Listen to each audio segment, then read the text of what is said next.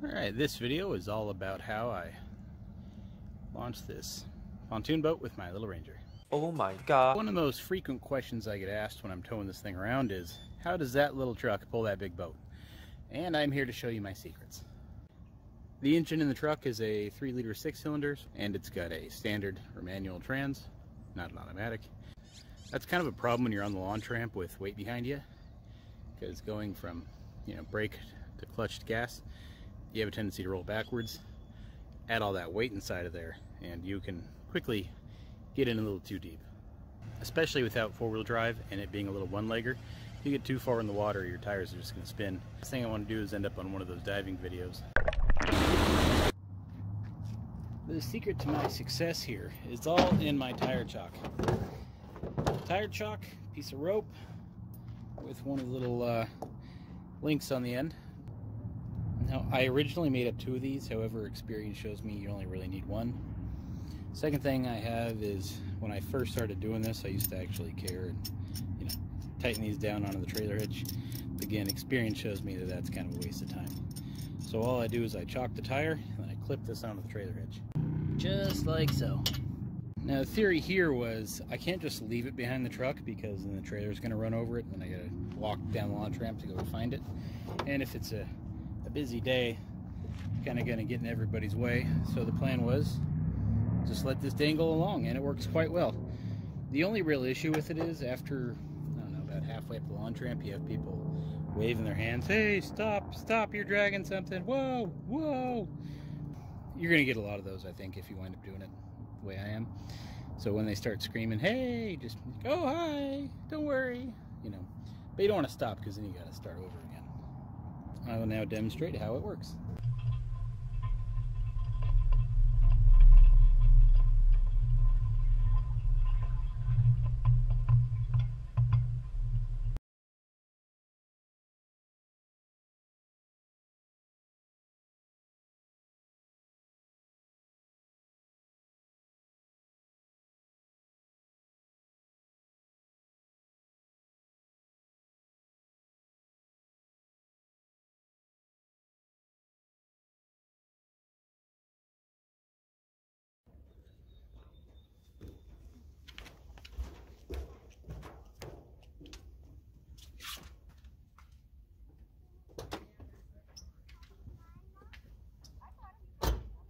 Okay, just got in the truck. I'm going to take the uh, e-brake off and roll back a little bit, load up that tire chock. Can start the truck up. And pull away normally.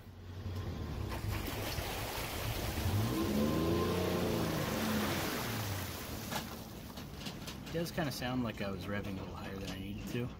But let's go ahead and show you what it looks like with the boat attached.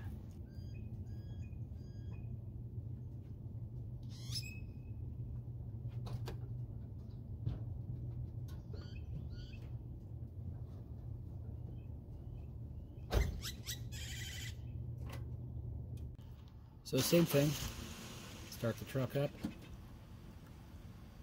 And I'm just going to uh, roll back a little bit to get the weight onto that tire chock so I can let go of the brake without going any uh, further down the ramp.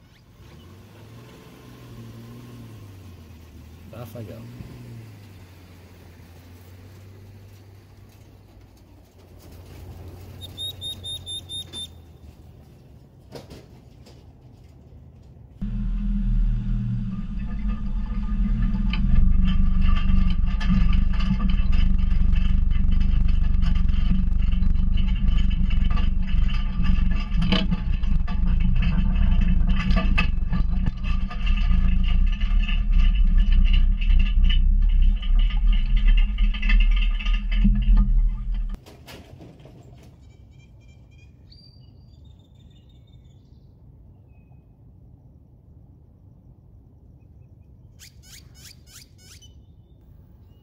That's pretty much it. That's that's how I do it.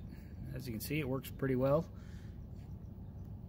No real issues at all. I, I use it for all kinds of stuff if I'm doing a jet ski or even my little aluminum boat. Haven't had any problems yet. I'm always there's always the concern of the truck backing over the tire chock, but like I said, no problems yet.